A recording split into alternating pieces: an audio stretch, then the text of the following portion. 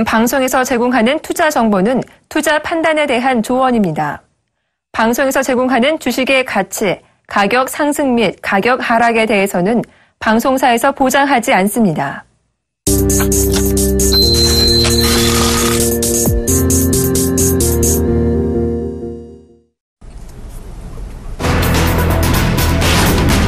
유로존의 지난 7월 산업 생산이 전월 대비 0.6% 증가했다고 유럽연합 통계 당국인 유로스타트가 14일 발표했습니다.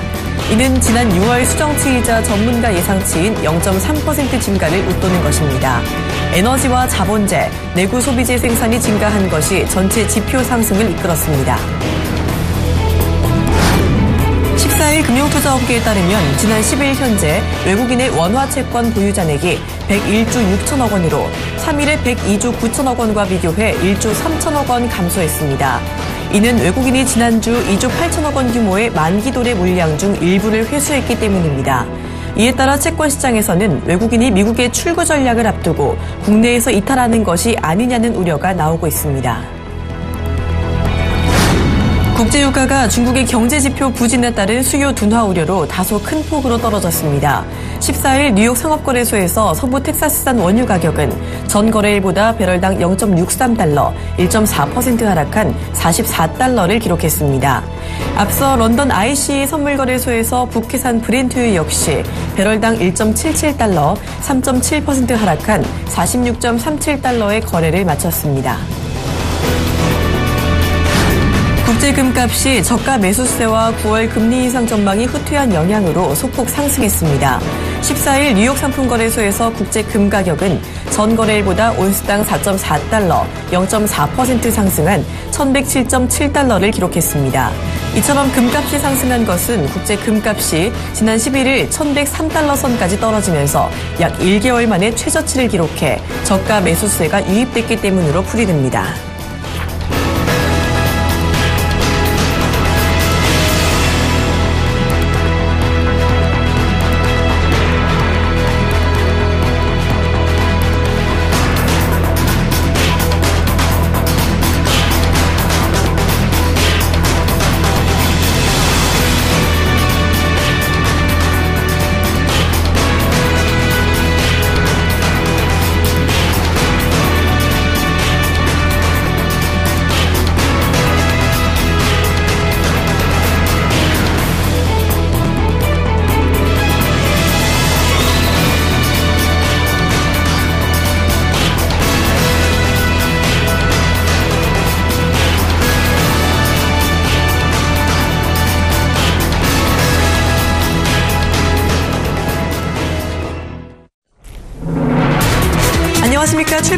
와이드 박진영입니다. 어제 전체적으로 글로벌 증시가 일제히 하락하는 모습을 보였습니다. 좀 예상했던 대로인 것 같은데요. 아무래도 이번 주 미국의 금리 결정이 끝날 때까지는 이런 부진한 흐름이 계속해서 이어지지 않을까 싶습니다. 자, 글로벌 마감 상황 먼저 뉴욕 증시부터 알아보도록 하겠습니다. 자, 간밤에 뉴욕 증시 중국의 경기 둔화 우려감에 일제히 하락하는 모습을 보였습니다. 3대 지수 모두 0.3에서 0.4%가량 내림세로 마감을 했는데요. 자, 17일에 열리는 연준의 금리 결정을 앞두고 이 관망 분위기 역시 짙게 나타난 것으로 보이고 있습니다. 자, 여기에 더해서 주말에 발표됐던 중국의 여러 가지 지표가 조금 부진하게 나타나면서 뉴욕 증시 역시 불안감을 조금 받은 것으로 풀이가 되고 있습니다. 자, 중국과 미국 이 G2의 불안감은요. 뉴욕 증시뿐이 아닙니다. 유럽 증시에도 영향을 준 것으로 보이고 있는데요. 유럽 증시 마감 상황 보시도록 하겠습니다. 자, 영국은 0.54%, 프랑스는 0.67% 하락을 했었고요. 독일 증시는 강보합에 마감하는 모습을 보였습니다. 전체적으로 이 FOMC 회의가 끝날 때까지 계속해서 세계 증시 지지부진한 모습을 보일 것 같습니다. 자, 유가도 간밤에 하락하는 모습을 보였습니다. 유가 마감 상황 함께 보시죠. WTI는 전일보다 배럴당 1.4% 하락 하락하면서 44달러를 기록을 했고요. 브렌트유는 더 큰 폭의 하락세를 보였습니다. 자, 브렌트유 같은 경우 전일 3.7% 하락하면서 46.3달러를 기록했습니다. 자, 유가 역시 중국의 경제 지표 부진으로 이 수요 둔화에 대한 우려감이 작용한 것으로 보이고 있습니다. 아시아 증시의 하락폭은 더 컸습니다. 역시 마찬가지로 G2의 리스크가 적잖이 작용을 한 것으로 보이고 있는데요. 먼저 증국 증시 보시면요. 상해 종합 지수 2.67% 6% 내렸습니다. IT 기업이 몰렸던 이 선전 지수는요, 6.65%까지 급락하기도 했는데요. 상해 증시는 장 초반에는 4.7%까지 올랐지만 결국에는 하락 반전했습니다. 경기 둔화 우려감이 증시의 발목을 잡은 것으로 보이고 있습니다. 자, 일본 증시도 사흘째 밀리면서 18,000선을 내주었습니다. 일본 증시 니케이 지수 어제 1.63% 하락했는데요. 역시나 미국의 금리 인상 불안감이 작용을 했고 이에 더해 서 아베 신조 일본 총리가 이 통신요금 인하를 촉구하면서 통신주들이 이 지수를 끌어내린 요인으로 작용한 것으로 보이고 있습니다. 자, 이어서 국내 증시 보시도록 하겠습니다. 국내 증시도 양시장 모두 하락 마감했는데요. 코스피 0.5% 하락하면서 1930선을 겨우 지켜냈고요. 코스닥은 어제 1% 하락하면서 조정받았습니다. 662포인트 기록했습니다. 자, 양시장 우리 모두 어제 상승 출발하기는 했지만요. 장 초반의 하락 반전 이후 에 마감까지 하락세를 보였습니다. 어제 우리 시장 외국인과 기관이 동반 매도를 했고요. 외국인 역시 양시장 모두의 매도하는 모습을 보이면서 28일 연속 순 매도하는 모습을 보였습니다. 자, 예상대로 이 변동성이 큰 장이 이어지고 있습니다. 집 나간 외국인들은 도통 돌아올 생각을 하지 않고 있는데요. 일단 이번 주 FOMC 회의가 끝날 때까지 이런 모습이 이어지지 않을까 싶습니다. 출발 증시 와이드 지금 시작합니다.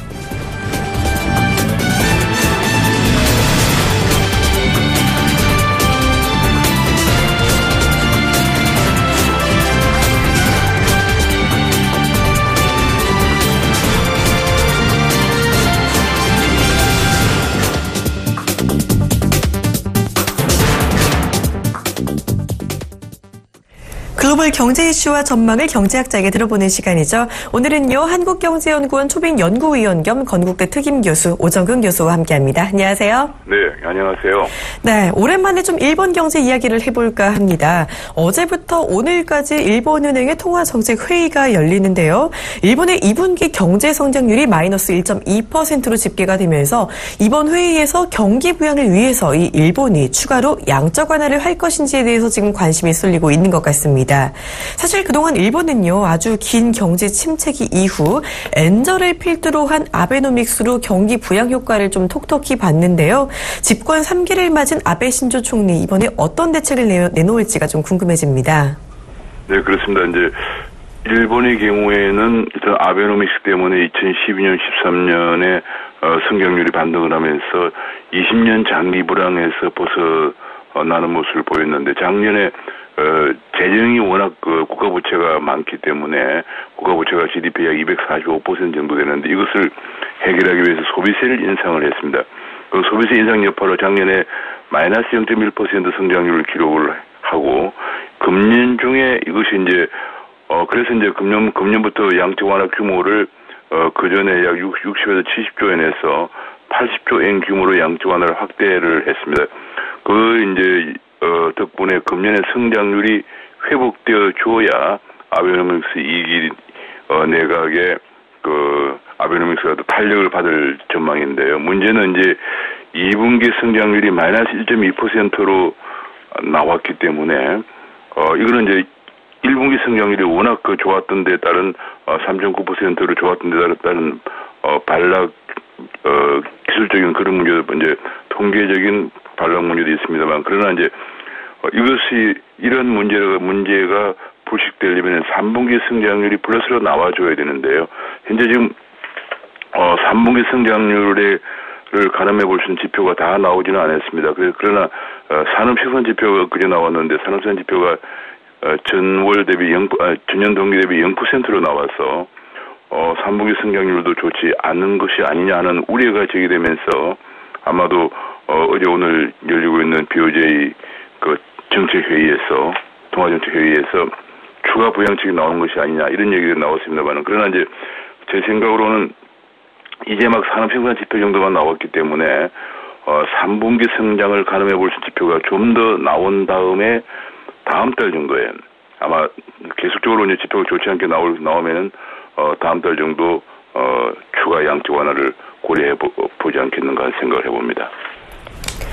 네, 일단은 3분기 성장 가능 지표가 조금 더 나온 뒤 다음 달 정도 조금 더 지켜보는 게 어떻겠냐라는 의견을 해주셨는데요. 자, 요즘 또 신흥국들의 근심이 큽니다. 안 그래도 미국의 금리 인상 우려감에 신흥국의 자금 이탈 불안감이 좀 커지고 있는데요. 이 중국발 세계 경기 둔화 우려감에 더해서 신흥국 자체의 경제 문제까지 좀 심각한 상황이라고 합니다.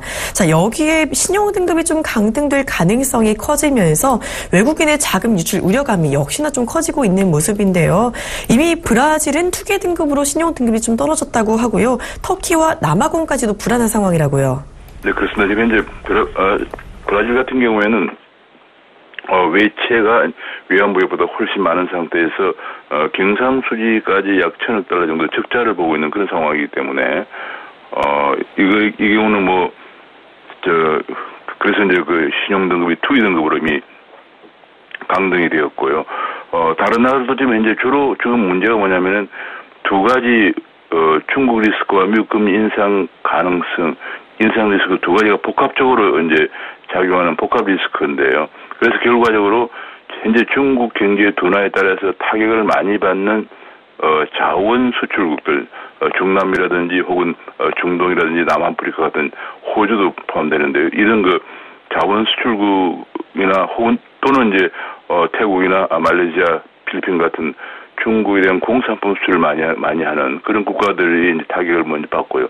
그런 나라들 중에서 외환 보유액이라든지 외채라든지 경상수지를 어, 경상수지 건, 건전하지 못한 그런 그 이제 대외적으로 취약한 국가들 그러니까 대중 리스크가 리스크에 대한 노출도가 크면서 대외 어, 강건성이 어, 약, 어, 약한 그런 국가들의 그 신용 등급이 계속 그 하락할 어, 그런 전망입니다. 대체로 지금 나오고 있는 나라들이 남아공이라든지 혹은 중남미 어, 나라들 혹은 심지어는 러시아도 이제 석유 석유 의존도가 워낙 높기 때문에 러시아 재정의 50% 이상을 어, 석유 판매에 의존하고 있기 때문에 그런 나라들 그다음에 이제 동아시아의 말레이시아, 인도네시아, 태국 같은 나라들 그다음에 중남미의 멕시코, 콜롬비아 같은 이런 나라들 어, 지금 현재 신용 등급이 하락할 것으로 이렇게 전망이 되면서 이것이 이제 막상 미국 금리를 인상을 하게 되면 더 충격이 커질 것이니까 어, 잘못하면은 일부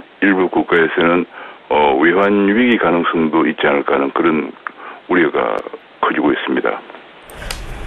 네, 이렇게 전체적으로 신흥국의 경제 불안감이 커지고 있는 가운데 반면에 또 아시아 신흥국 증시는요 조만간 반등하지 않을까라는 전망이 나오고 있습니다. 자, 그 중에서도 특히 한국과 매국, 태국이 매력적인 좀 투자처라는 이야기가 나오는 게 특히 반가운 일인 것 같기는 한데요. 이 증시 반등 그렇다면 좀 빠른 시일 내에 이뤄질 수가 있을까요? 어, 그거는 이제 이렇게 생각해 볼 수 있습니다. 하나는 어, 외국인들의 힘에 의해서 좌지우지되는 나라가 주로 이제 한국과 태국이거든요. 결과적으로 한국, 태국, 태국은 어, 자본시장이 어, 거의 완전하게 개방되어 있기 때문에 있고 또 외국인 어, 지분율이 높아서 외국인 투자 투자자의 동향에 따라서 어, 주가가 좌지우지 되는데 외국인 투자자들은 수익률을 결정하는 변수가 두 가지인데 하나는 주가 수, 주가 상승 기대하고 그다음에 어, 그 나라에 투자해서 그 나라 통화 가치가 절상되어야만이 환차익을 보니까 그 나라 통화 가치 어, 절상률 이 두 가지가 두 가지를 합한 것이 투자 수익률이 되겠습니다. 그런데 현재 지금 미국에서 만약 어 그것 때문에 미국금 인상이 예상되고 또 중국 경제의 문제라든지 이런 것 때문에 주가가 하락하면서 지난 4월 이후에 주가가 크게 빠졌거든요. 한국도 4월 어, 말 정도에 약 2,180 정도에서 지금 1,900원대까지 1,900까지 하락을 했으니까 굉장히 많이 하락했는데 문제는 이제 굉장히 많이 많이 하락한 상태에서 이번에 만약 17, 18일에 어, 시, 있는 FOMC에서 어 16, 17일에 있는 FOMC에서 금리를 올리지 않을 경우 않고 12월로 연기하게 되면은 그동안의 강 달러가 다소 추세가 이제 주춤해지면서 한국이나 태국 같은 나라의 통화 가치 약세가 좀 이제 약 어, 약세 추세도 이제 어, 주춤해질 겁니다. 그러면 어, 외국인 입장에서는 환차손 우려가 적어지기 때문에 어, 아마도 어, 실적이 괜찮은 어, 주식을 중심으로 해서 좀 올라갈 가능성이 제 생각으로는 아마 이번에 FMC에서 금리를 올리지 않으면은 어, 12월 금리 인상이 가시화되기 전 약 9월에서 한 10월 정도까지는 어, 실적이 좋은 주식을 중심으로 해서 어, 주가가 반등을 하는 그거는 너무 많이 어, 빠진 부분도 있기 때문에 그런 어, 상황을 보일 것으로 보여집니다. 네, 이 미국이 금리 인상을 12월로 연기하게 된다면 그래도 이제 아시아 신흥국 쪽은 좀 괜찮아지지 않을까라는 말씀까지 해주셨습니다. 네, 지금까지 한국경제연구원 초빙연구위원 겸 건국대 특임 교수 오정근 교수와 함께 이 경제 이슈까지 알아봤습니다. 고맙습니다. 네, 감사합니다.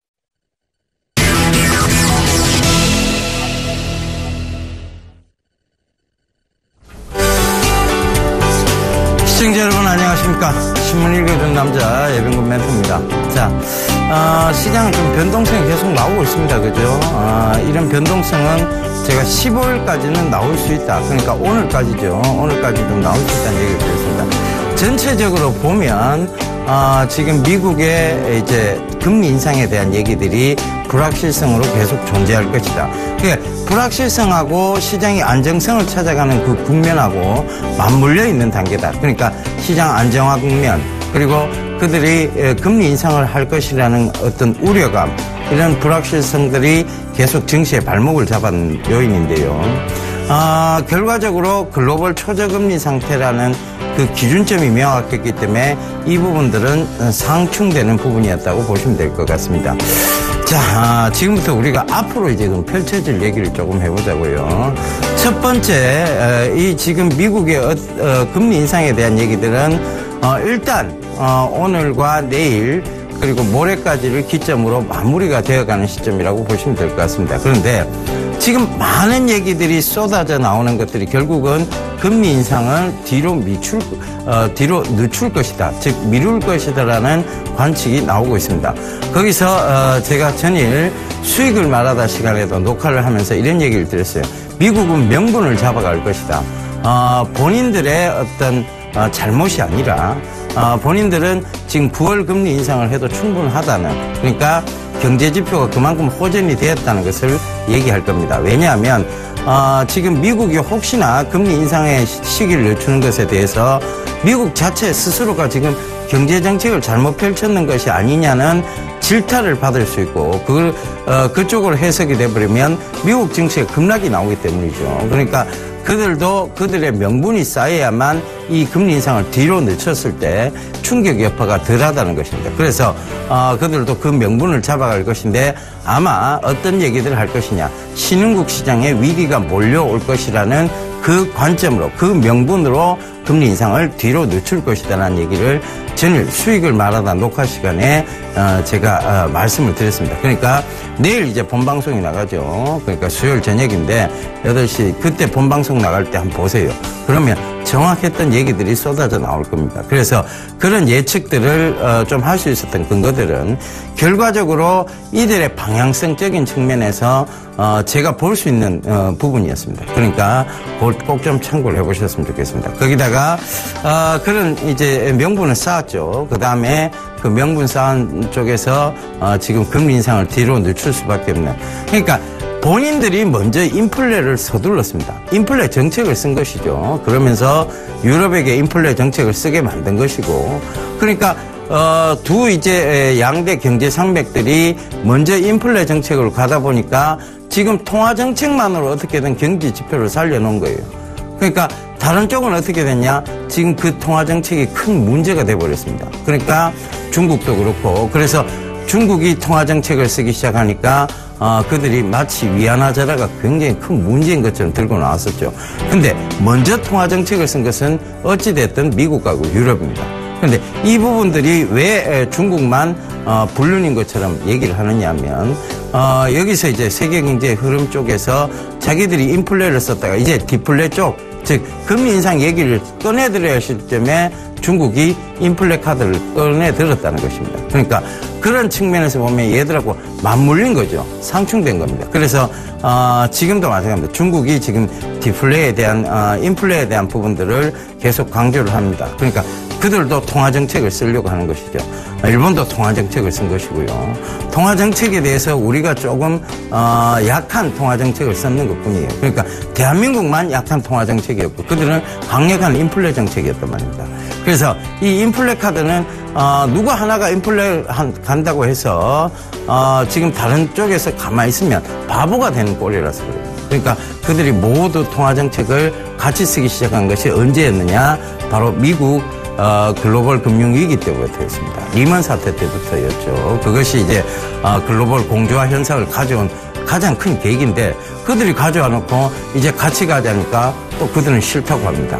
이건 뭔가 잘못됐다는 얘기죠. 그래서 그들 역시 그 명분을 지금 뒤로 늦출 수 있는 명분을 아마 아, 신흥국 시장의 위기 쪽으로 몰고 가는 것입니다.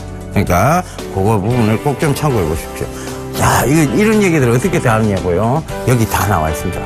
신문에 다 나와 있습니다. 더 월스트리트 저널 여기에도 다 나와 있고요. 국내 최대 경제일간지 서울경제신문에도 다 그런 얘기들을 다 해주고 있습니다. 그것을 단지 재해석하는 관점에서 보시라는 얘기입니다.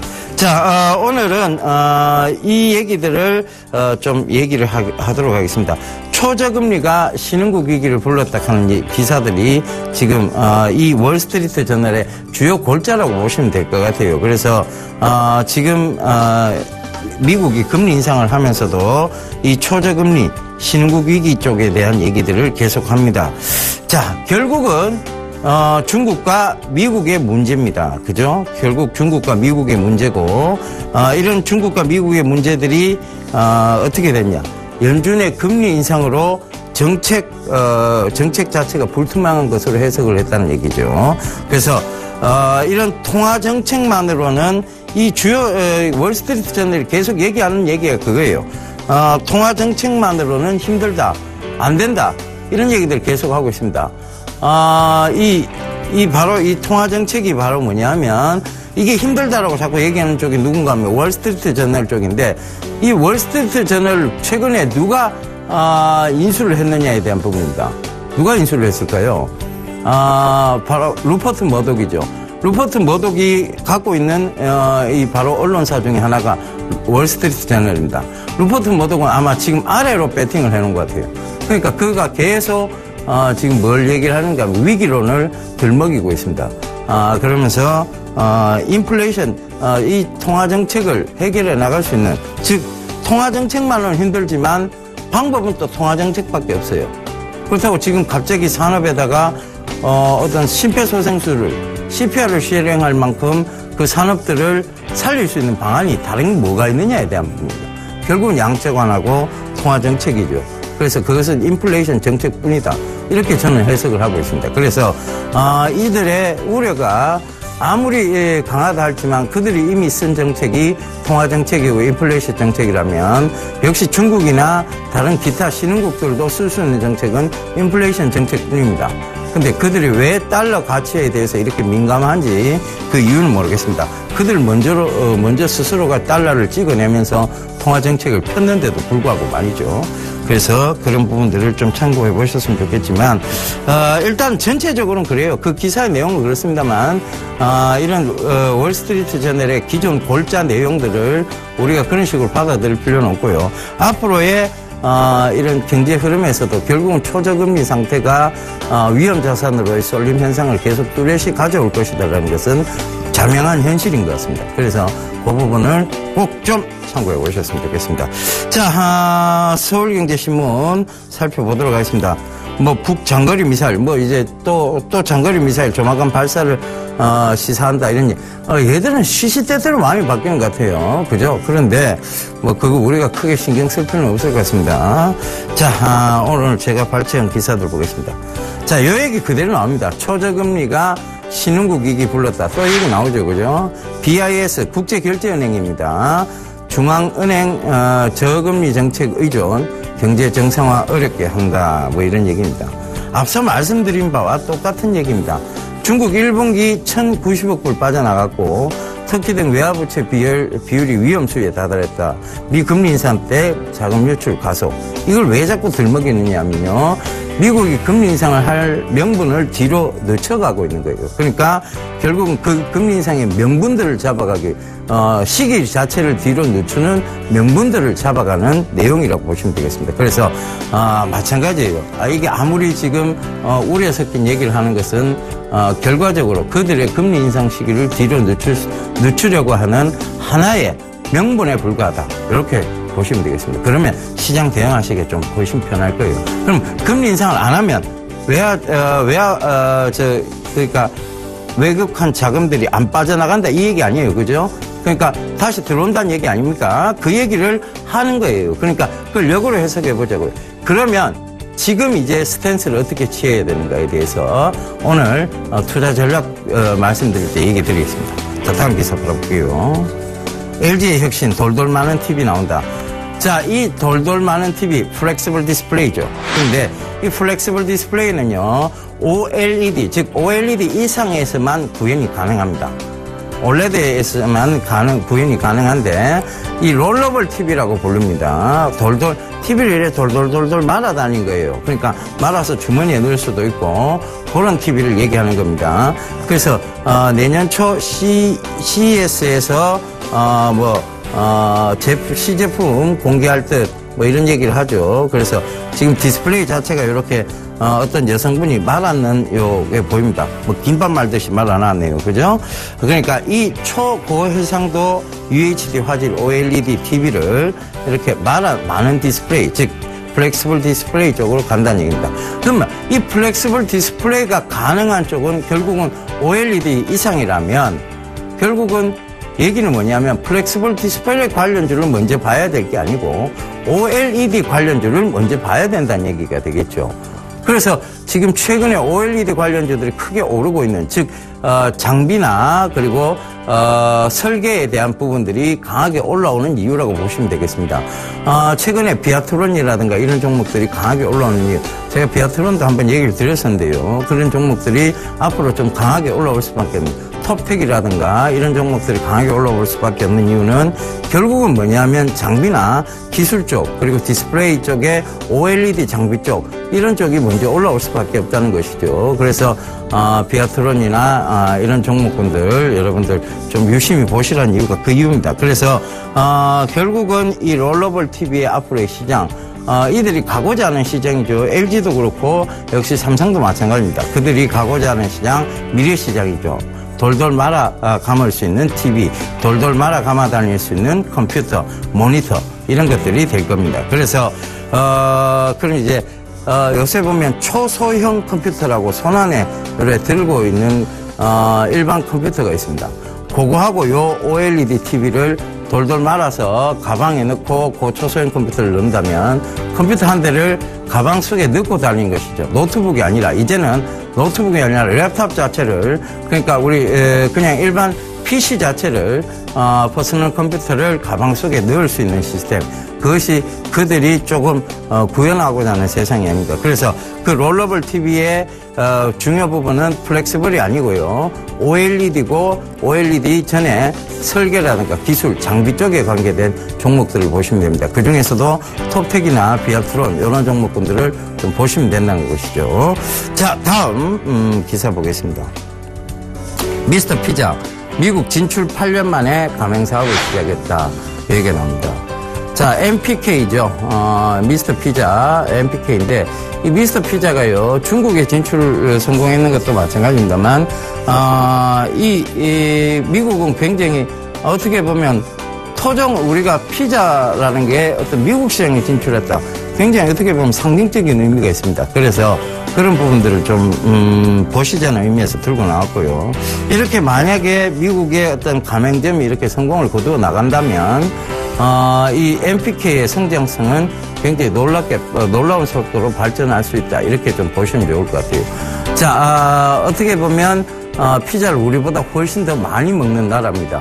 그 바로 미국이란 나라가 그런데 그 미국이란 나라가 나라에서 이런 어, 피자 사업의 성공을 달리고 있다. 이것은 결과적으로 MPK의 고속 성장세를 의미하는 것입니다. 그래서 아, 물론 지금 MPK가 크게 낮은 가격대는 아닙니다. 그러니까 조금 더 기다려 보셔야 될 것 같지만 단기적으로는 이 MPK가 이런 기사로 인해서 반응을 할 수 있다는 것이죠. 그래서 원래 기사가 나오면 팔아야 됩니다만은 어, 이 기사는 어, 지금 반영이 안 된 기사로 보시면 되겠습니다. 그러니까 어, 결과적으로 지금 주가에 보면 주가에 크게 반영되지 않은 기사의 내용입니다. 그래서 그런 부분들이 오늘 단기적 흐름도 가져올 수 있다는 것 좀 참고를 해보셨으면 좋겠고요. 그래서 어, 미국 사업에 진출을 잘 했습니다. 어찌됐든 우리 기업이 어, 이렇게 미국에 가서 어, 사업적으로 진출해서 성공하고 있다는 거 어, 반길 일이죠. 그래서 그 부분 참고를 꼭 해보셨으면 좋겠습니다. 자, 어, 오늘도요, 투자 제안을 말씀드리겠는데, 음, 자, 오늘 이제 외인의 매도 끝이 나온다고 보시면 될 것 같아요. 장중이 됐든, 어, 거의 이제, 에, 장중이 됐든, 장 초반이 됐든, 외인의 매도는 이제 끝났다라고 보시면 되겠습니다. 그래서, 어, 이들이 매수로 방향 전환 시점을 어떻게 잡아보면 이미 미국이 금리 인상을 뒤로 늦출 명분들을 내세우고 있다는 것이 그들이 바로 다시 신흥시장 그리고 어, 이머징 마켓 국가로 자금들이 다시 들어올 수 있다는 것을 의미하죠. 그러면 어, 외인들의 매도는 이제 끝났다. 그럼 지금부터 그들은 매수로 방향 전환을 할 것이라는 얘기를 감히 오늘 드리도록 하겠습니다. 그러니까 여러분 너무 걱정하지 마시고요. 조금 차분한 마음으로 시장을 보셨으면 좋겠습니다. 감사합니다. 예병군이었습니다.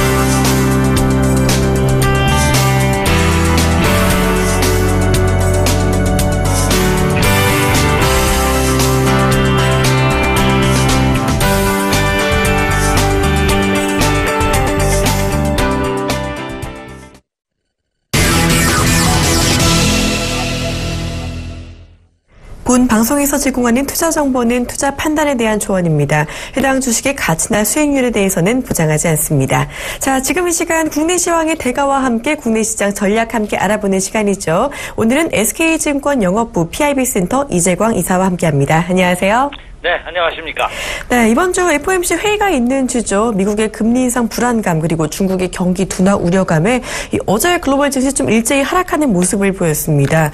이런 변동성 장세가 예상했던 바인 것 같기는 한데요. 먼저 어제 글로벌 리뷰부터 자세히 부탁드립니다. 네, 참, 참 어렵습니다. 자, 이번 주 주식시장에서 뜨거운 감자 결국 발표가 되죠. 자, 결과 어떻게 되던 간에 자, 그 미국이 10년 만에 이번에 FOMC에서 그 벌써 10년 만이라고 합니다. 금리가 인상되는 것이. 자, 이 금리 인상을 하느냐 마느냐 여부가 처음에 관심거리입니다. 그러나 주식시장에서는 불확실성이 가장 큰 악재라고 이미 말씀드렸었죠. 그래서 금리를 9월달에 인상을 한다고 발표를 하든지 아니면 10월이나 12월로 연기를 하든지 간에 자 여러분이 중요한 것은 어차피 예고된 것이니까요. 금리를 인상을 안 할 수는 없거든요. 이미 인상을 확고한 것이기 때문에 저는 이번 달에 인상을 하는 것도 그렇게 나쁘지 않지 않나 생각이 됩니다. 물론 일시적으로 악재일 수 있습니다. 하지만 불확실성이 해소된다는 측면에서 본다면 오히려 이번 주에 자 우리나라 시간으로 18일 금요일 새벽입니다. 미국 시간으로 17일 목요일 날 발표가 되는 것이 투자자분들한테는 더 위안이 되지 않을까 생각이 됩니다. 그럼 결과적으로 보면 연기한다고 그러면 어떻게 되겠습니까? 중시의 호재죠. 또 만약에 9월 달에 발표된다고 하면 단기적으로 악재이지만 어때요? 불확실성이 해소된다는 측면에서 본다면 이미 미국 금리 인상에 대한 악재성 재료는 주가에 이미 선 반영됐다고 본다면 발표가 설사 된다 하더라도 어떻습니까? 예, 크게 우려할 필요는 없지 않는 생각이 됩니다. 다만 주식시장이라는 것이 밑으로 빠지는 가격의 조정이 이로 끝나는 것이 아니라 옆으로 횡보하는 기간의 조정이 있다는 말씀을 여러 차례 강조해 드렸습니다. 그렇다면 지금의 시장은 FOMC를 빼놓고 생각한다 하더라도 바로 상승하기엔 어때요? 좀 힘에 붙이는 상승의 모멘텀이 좀 부족한 그런 모습을 보이고 있다는 점입니다. 자, 그 점을 염두에 두면서 먼저 전일 마감됐던 시장 동향부터 살펴보도록 하겠습니다. 자, 먼저 중국 시장부터 가도록 하죠. 제가 보통 이제 미국 시장부터 여러분에게 말씀드렸는데 중국 시장부터 먼저 가도록 하겠습니다. 그 이유는 뭡니까? 네. 전일 중국 시장 경기 둔화의 우려감으로 인해서 전 세계 시장이 동반 하락하는 그런 모습을 보였기 때문이 아닌가 생각이 됩니다. 자, 이 중국 시장 같은 경우에는요, 야, 좀처럼 해소의 기미를 보이지 못하고 있어요. 어제 중국 시장이 크게 하락하는 모습을 보였습니다. 응? 상해 종합 지수가 2%대 이상, 특히 심전 선전 종합지수는요, 어, 심전이 아니라 선전이죠. 선전 종합지수 같은 경우는 6%가 넘는 급락을 보였다 하는 점입니다.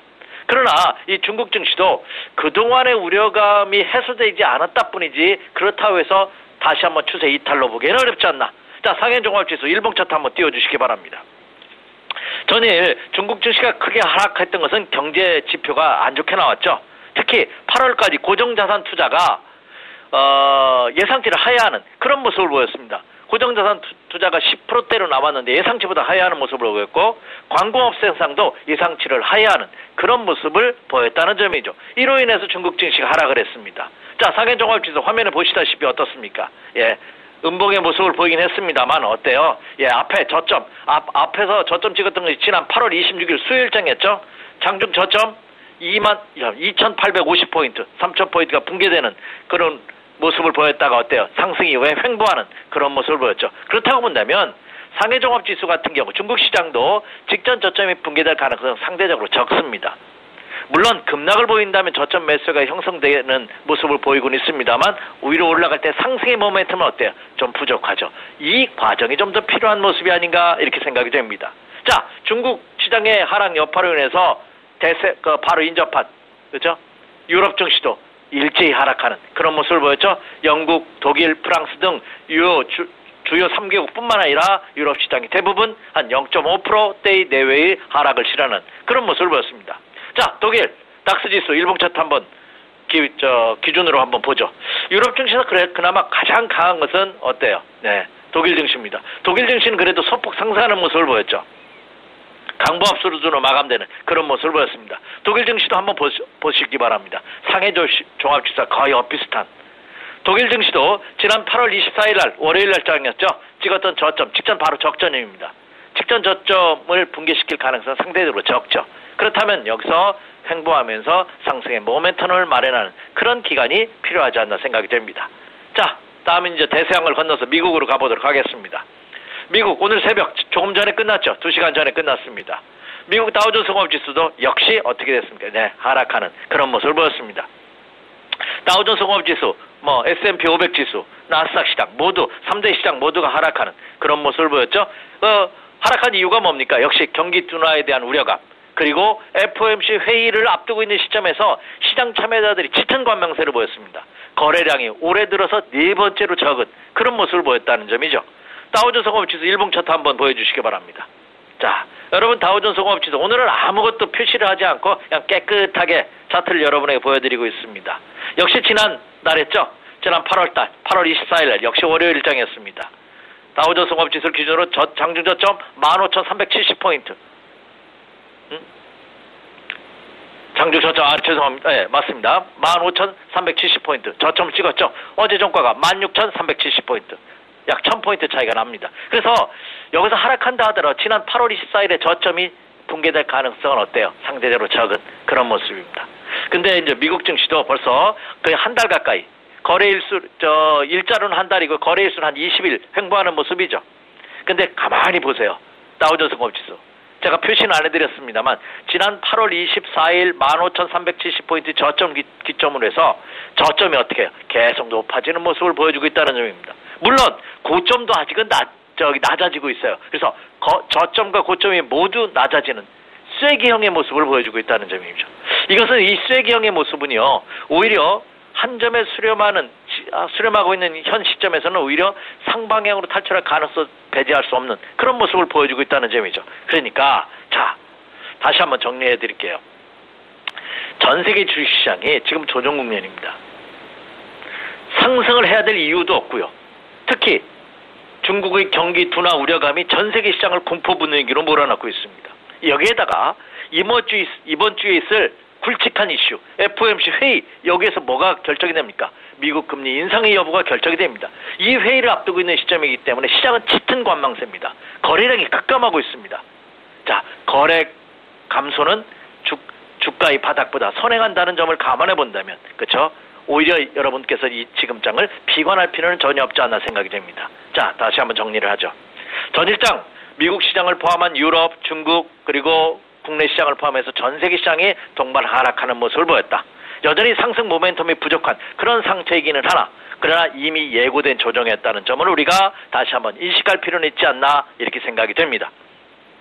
세계 주식시장이 지금 조정 국면이다라고 해주셨습니다. 일단은 상승 모멘텀이 뚜렷하게 없고요. FOMC 회의도 앞두고 있죠. 이 거래량이 좀 급감하는 관망세가 나오고는 있지만 지금의 부진한 시장을 아주 크게 걱정하실 필요는 없겠다라고 정리를 해주셨습니다.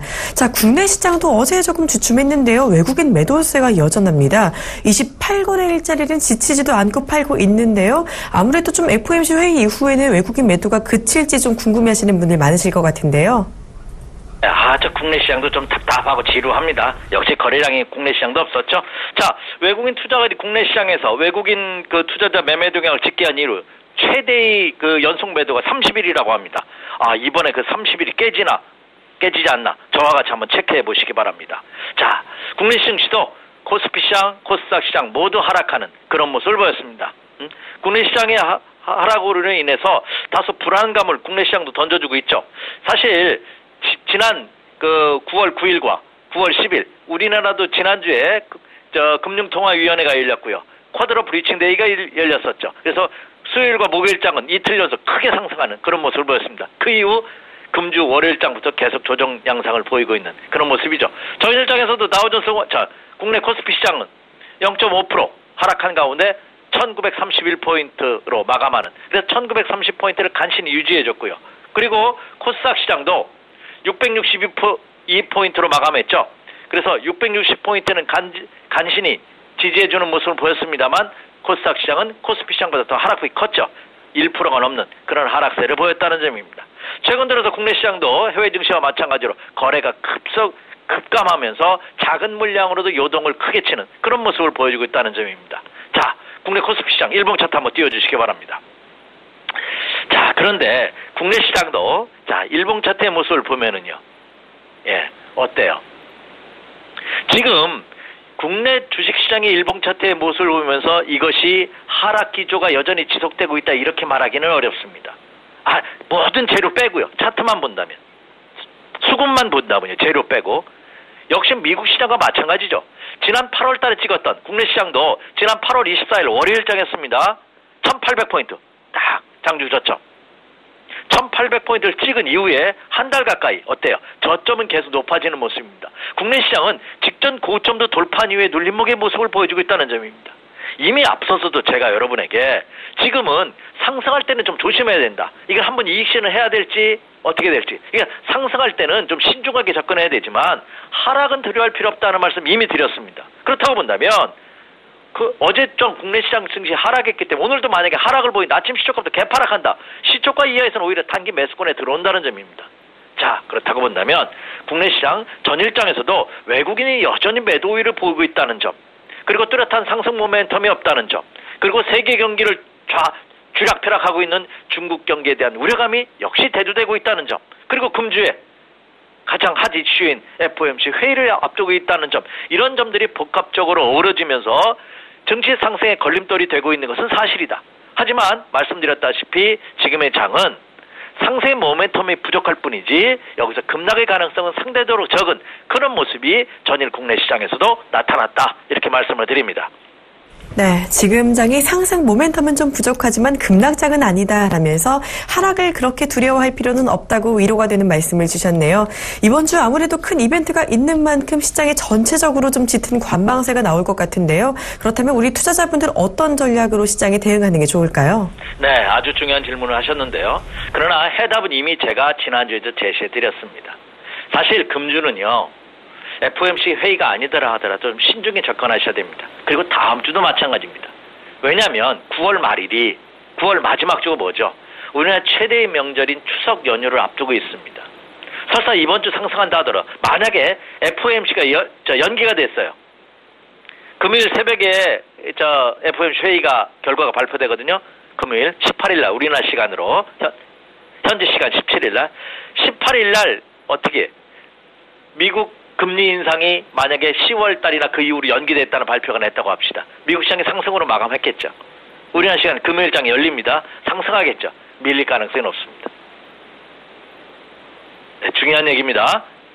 연기가 되면 밀릴 가능성이 높다는 거죠. 연기가 돼서 주가가 상승한다. 한번 이익 실현을 할 필요가 있지 않나 생각이 됩니다. 한번 매도할 필요가 있지 않나 생각이 됩니다. 왜냐하면 9월 달은 좀 신중하게 접근하셔야 됩니다. 오늘이 화요일이죠. 내일 모레 목요일 날 여러분 다시 한번 찾아갑니다. 목요일 날 다시 한번 요 전략은 드릴게요. 자, 그렇다고 본다면 투자 전략. 자, 다시 한번 국내 코스피장 일봉 차트 띄워 주시기 바랍니다. 자, 국내 코스피장 일봉 차트의 모습을 보면은요. 거래 감소하면서 어때? 조정 양상, 조정이 너무 이쁜 조정입니다. 지금의 장은 주, 바, 밥으로 얘기한다면 이미 밥은 다 됐어요. 뜸을 들이는 과정이죠. 이 뜸이 10분 들일지 5분을 더 드려야 되는지 30분을 드려야 되는지 한 2시간을 드려야 되는지 그 차이만 남겨놓고 있죠. 그 과정이 아닌가 생각이 됩니다. 그럼 투자 전략은 예 연속 하락한다든지 급락할 때는 단기 매수권에 들어온다. 적어도 매도할 때는 참 하락할 때는 매도할 필요는 없다. 이렇게 말씀을 드릴 수가 있겠죠. 그 전략대로 임하시기 바라고요. 만약에 상승한다. 그럼 한번 욕심내지 말고 한번 주시기 바랍니다. 어차피 지금은 매수한다 하더라도 단기 매매 전략이고요. 단기 매매에 자신 없으신 분이라면 제가 여기서 아 이제는 때가 됐습니다. 매수 한번 해 고려해 보시죠. 이런 말씀을 드릴 때까지 열중셔 하고 관망하고 계시면 되지 않나 생각이 됩니다. 자, 주식 투자를 하면서요. 수익을 내기가 어려운 장에서 수익을 내려고 하니까 어려운 것입니다. 지금은 선, 전문가들, 소위 말하는 선수라는 친구들도 수익 내기가 어려운 장이라는 점을 감안해 본다면 특히 투부, 투자자분들께서는 조금 더 그렇죠. 지켜보시는 그런 매매 전략으로 임해 주십시오. 이렇게 말씀을 드리고요. 자, 이번 주 중요한 체크 포인트가 있죠. 뭐냐? FOMC 회의죠. 자, FOMC 회의가 과연 열리는데 결과가 금리 인상 쪽으로 나오냐 안, 온, 안 나오냐는 미국 경제 지표에 달렸습니다. 중국이 아니라. 그래서 이번 이번 주 15일과 16일 날 중요한 경제 지표가 나오는데 한번 체크해 주시기 바랍니다. 15일 날은 미국 8월 소매 판매와 생산 산업 생산 지수가 발표되고요. 16일 날 중요합니다. 16일 날 자, 소비자 물가 지수, 소위 말하는 CPI가 발표됩니다. 그리고 저 전미 주택 건설업회가 발표하는 주택 시장 지수가 발표가 되죠. 이 15일과 16일의 이 경제 지표가 어떻게 나오냐에 따라서 FOMC 위원들이 미국 금리 시기를 결정할 가능성이 크지 않을까 이렇게 생각이 됩니다. 자, 그렇다면 결론입니다. 이미 앞서 언급해드린 바와 같이 지금은 본격적인 상승장이 아니다. 다만 이미 주가도 더 이상 크게 하락하는 밑으로 빠지는 가격의 조정을 받기는 어려운 장이기 때문에 연속 급락을 보인다면 단기 매수권에 들어올 가능성이 높다. 그러나 이것은 단기 매수, 단타 매수기 때문에 초보 투자자분들께서는 저 먹기 수익을 내기가 쉽지 않다. 그래 그런 분이라면 시장의 흐름이 방향성이 결정될 때까지 조금 더 기다리시는 전략이 필요하겠다 이렇게 말씀을 드립니다. 네, 일단은 하락할 때는 매도할 필요는 없고 매수 타이밍이 올 때까지 관망하시는 전략 괜찮다고 해주셨습니다. 지금까지 SK증권 영업부 PIB 센터 이재광 이사와 함께 오늘 장 시장 전략 알아봤습니다. 고맙습니다. 네, 감사합니다.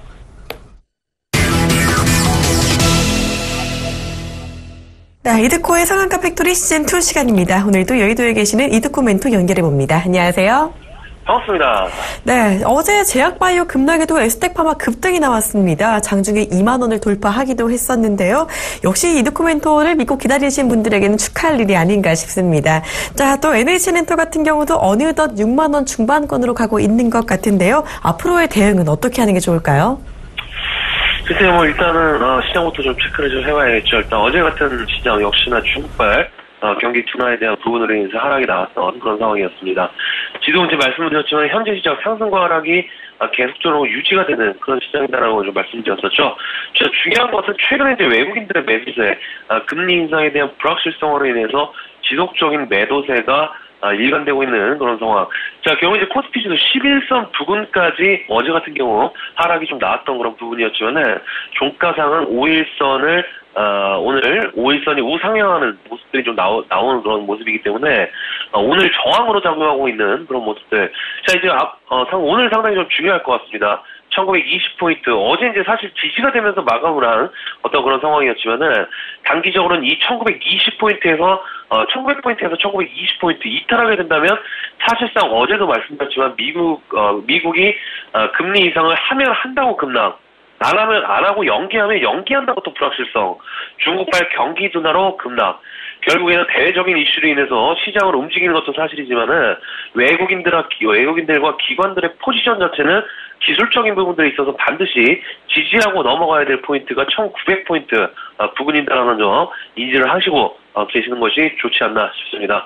자, 사실상 1900포인트 무너지게 된다면 또다시 어, 전저점 부근까지 급락이 좀 나아질 것 같습니다. 그것이 금리 인상이 됐건 중국발 경기도 당화됐건 결국에는 기술적인 부분들이 중요하다라고 강조드리고 있는 그런 부분이기 때문에 FOMC 회의 전에 지수 움직임 반드시 체크, 체크하고 넘어가야 된다는 점 참고하시면서 대응하신 전략이 맞다라고 좀 말씀 좀 드리겠고요.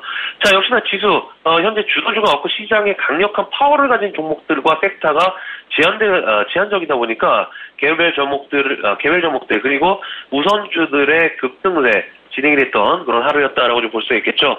자, 우선주들이 사실 뭐 급등한다는 것은 아, 시장이 돈이 돌 만큼 돌았으니까 이제는 단기성으로 수익을 내고 빠지자라는 어떤 경고성의 의미도 되겠습니다. 어제 뭐 성문전자 우선주라든지 흥국화재 뭐 우선주 많은 어떤 그런 어, 우선주들의 어, 급등세 진행됐던 그런 모습들 자 그리고 시장에는 좋은 그런 모습들은 아니다. 라고 좀 볼 수가 있겠고요. 자, 어제 이제 코스피 지수도 마이너스 1% 넘게 하락이 좀 나와주게 되면서 단기간에 기술적 반등이 나왔던 제약바이오 섹터들의 어, 종목들에 대한 하락이 좀 나와준 어, 그런 부분이 되겠습니다. 하지만 단연 어, 에스텍 파마 장중 5% 넘게 급등세가 좀 나오게 어, 되면서 상당히 어, 좋은 부분들로 연출이 됐었던 그런 상황인데 자 어제 이제 사실은 어, 한미약품이 6% 넘게 급락이 나오게 되면서 사실 출발 자체가 제약바이오 섹터를 투자 심리를 악화하게끔 만들어버리게 되는 결국 이제 많은 제약바이오 섹터와 종목들 하락 번역에서 재차 진입을 하게 되면서 셀지온도 하락만 감하게 되는 결국 미국 쪽의 불확실성이 투자 심리를 악화시키고 있는 그런 부분인 것 같습니다.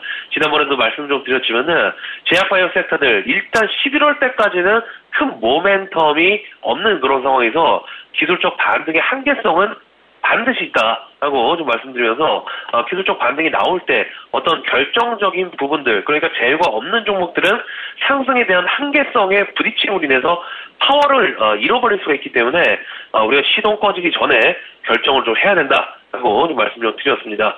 자, 해서 이번에 사실상 금리 인상으로 인해서 제약바이오 섹터들 급락이 좀 나오게 된다면 하반기 가을에서 겨울로 넘어갈 때까지는 지속적으로 박스권 장세 나올 가능성이 높다는 점 참고하실 거, 어, 참고하시면 좋을 것 같고요. 자, 그런 의미에서 에스테파마도 마찬가지의 경우가 되겠습니다. 기술적인 반등적인 부분들. 이번에 사실상 2만원대 재차 돌파하게 되면서 금요일에 나온 재료적인 부분에 대, 어, 부분들에 대한 연속성을 지속적으로 가지게 되면서 상승의 시나리오를 그리고 있는 과정이다라고 볼 수가 있는 부분인데, 자, 일단 오늘 island gap, island gap 상승에 있어서 나오게 된다면 thank you적인 부분들, 자, 60일선 부근, 어, 부근까지 돌파할지 상당히 중요한 어떤 구간으로 진입을 한 상황이기 때문에 island gap이 나오는지 한번 체크를 하시면서 제, 어, 대응하자라고 좀 말씀 좀 드리겠고요. 자, 어제 이제 제약바이오 섹터 급락에도 불구하고 꿋꿋이 어, 자리를 잡아준 어, 에스텍파마 이기 때문에 오늘장 재차 2만 원대 돌파해서 안착한 이후에 움직임 상당히 좀 중요하다라고 좀 생각하시고 자 어제도 말씀 좀 드렸습니다. 에스텍파마 level up 구간이다라고 좀 말씀 좀 드렸기 때문에 자 외국인과 기관들 어제 쌍끌이 매수세가 들어온 그런 상황에서 지속 집중하시면서 대응하자라고 좀 말씀 좀 드리고, 어, 드리도록 하겠고요. 자, 또 하나의 level up 종목이 되겠습니다. NH 엔터, 어, NH 엔터가 되겠죠. 어, 제이 종목도 시장 상황에 따라서 조정, 조정이 좀 들어온 어, 그런 모습이긴 합니다만은 장중 조정으로 어, 마감하게 되면서 종가는 또 어, 플러스로 마감한 모습들. 자, 일단 두 종목 모두 현재 시장 대비 양호한 그런 어, 흐름으로 일단은 역행하고 있는 그런 종목이 되겠습니다. 자, NH 엔터 기관들에 대한 어, 매수세, 어, 기관들에 대한 매수세. 자, 최근 들어서 9월달 어, 들어서 계속적으로 좀 매수세가 들어오는 그런 모습들. 자, 어제 같은 경우에도 6만 주 넘게 매수세가 좀 들어오는 그런 상황이었죠. 자, 해서 상승폭 유지하는 그런 흐름. 자, 결국 이제 이번에 계단식 상승함에 있어서 주가의 움직임 자체가 상승 구도로 진입을 한 어떤 그런 상황이기 때문에 이번 상승 파동에서 7만 원대 7만원대 돌파하는지에 대한 부분들부터 체크하자라고 좀 생각을 하시고 자 이제 조금 있으면 추석입니다. 자 NH엔터 한 게임에서 윷놀이 게임이라든지 고스톱이라든지 어느 정도 어, 아이템적인 부분들에 있어서 수혜를 받을 수도 있는 어, 그런 부분이다라고 생각을 하고 있기 때문에 설 연휴 아이템에 대한 특수적인 부분들 생각하시면서 자 가격적인 부분들부터 체크하자라고 좀 말씀 좀 드리도록 하겠습니다. 자 다음은 삼성 LNS 삼성 LNS 정말 개인들을 어, 죽이는 종목이지 않나 싶습니다. 하지만 어제도 좀 말씀드렸지만은 주 초반에 어, 주 초반에는 어느 정도 하락의 클라이맥스적인 부분들 나올 수 있다라고 좀 말씀드렸던 어, 상황. 어, 결국 이제 크게 어제 같은 경우에 밀리지 않고 어, 저점을 좀 잡아주는 어, 그런 모습에서도 알 수 있듯이 자 더 이상 추가 급락에 대한 부분들보다는 제한되게 나올 가능성이 있다라고 좀 생각하시고 자 오늘 어, 지수 또한 중요한 구간일 것 같습니다. 1920포인트, 1900포인트 지지되는지 확인하시고 확인 사살이 돼야 시장에는 진폭이 줄어들 수 있다는 점 참고하시고 오늘 장도 파이팅 하시기를 바라겠습니다. 오늘 사카 팩토리인 여기까지입니다. 고맙습니다. 네, 에스텍파마 오늘 2만 원 돌파 여부 방향 살펴보시고 대응하시는 게 좋겠다고 해주셨고요. NH엔터 같은 경우 수정 연준 모멘텀에 더해서 수급도 괜찮은 만큼 이 7만 원 돌파 여부 보시는 게 좋을 것 같습니다. 자, 시장 대비 양호한 흐름을 보이고 있는 이드코멘토의 종목인데요. 계속해서 시장 대응 잘 하시면서 포트 관리하시는 게 좋을 것 같습니다. 자, 출발 증시 와이드 1부는 여기서 마무리하도록 하겠습니다. 저는 잠시 후 2부로 돌아오도록 하겠습니다. 고맙습니다.